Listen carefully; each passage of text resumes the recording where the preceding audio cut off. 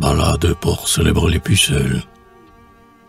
Puisque Paris, fou de poudre et de riz, et qu'on se plâtre en manière de signe, et qu'il a fait ses plaisirs favoris de ses gotons qui se peignent signe, je tourne à bride et change ma consigne. Loue avec nous, amour, méchant garçon, gerbe d'or qui sera ta moisson. Bien, lorsqu'on suit les saintes jouvencelles, qui vont tressant leur voile l'unisson, sied de boire en l'honneur des pucelles. Le parfumeur vend les jeux et les et sous les yeux se trace une ligne. On badigeonne un front comme un lambris. Je trouve de luxe et je m'en sens indigne. On me ramène à la feuille de vigne.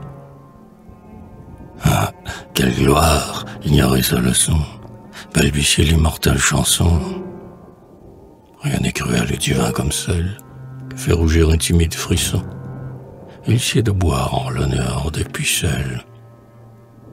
Et vierges sont des cœurs et des esprits, et la candeur sereine les désigne.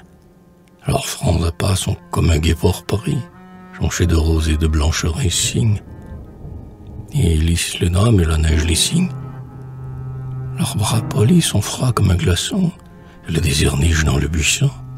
De leurs cheveux, où brillent des parcelles d'or, ouvragés d'une riche façon. Il de boire en l'honneur des pucelles.